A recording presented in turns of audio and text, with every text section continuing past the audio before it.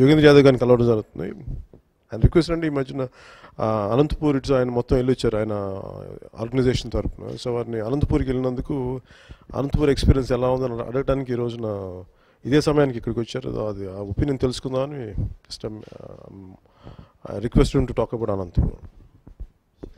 I'd never been to Anantapur. Uh, I went there only a few months ago, and my impression of Andhra Pradesh is very different. You know, I expect Andhra Pradesh to be lush green, to have a yeah, like Godavari districts and so on. You know, to have a certain physical infrastructure and so on.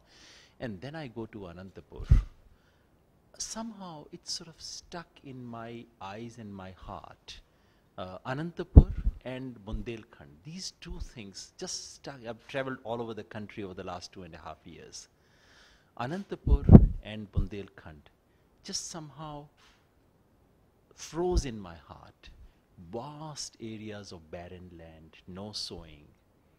And then in the public meeting that we went to, there were these uh, 40, 50 women holding photographs of their husband, their brother, their father who committed suicide. And I looked at their eyes. You know, these are frozen, stone frozen eyes with not even tears in those eyes. And I, you know, something, I, I then asked about the economy. I said, you know, is it this year which is so bad? Then I realized, no, it's actually every year. Someone explained me the ecology of it and said it's a permanent rain shadow area, that something like this is a routine occurrence, and so on and so forth.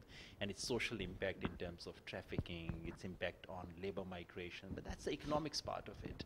But what struck me was if if this if we cannot turn this area around, we have no business to take pride in India. If Anantapur has no future, then India has no future. And I feel the same way about uh, Bundelkhand, that little stretch that touches uh, Uttar Pradesh and Madhya Pradesh. And uh, I, I, I went there. I, I felt as if this was sub-Saharan Africa. Just remove the Hindi boards and so on. This could be sub-Saharan Africa. What kind of claims do we make about our country, future, progress, ease of business, global wealth? And all this sounds so, so shallow, so hollow when you go to a place like Anantapur. And that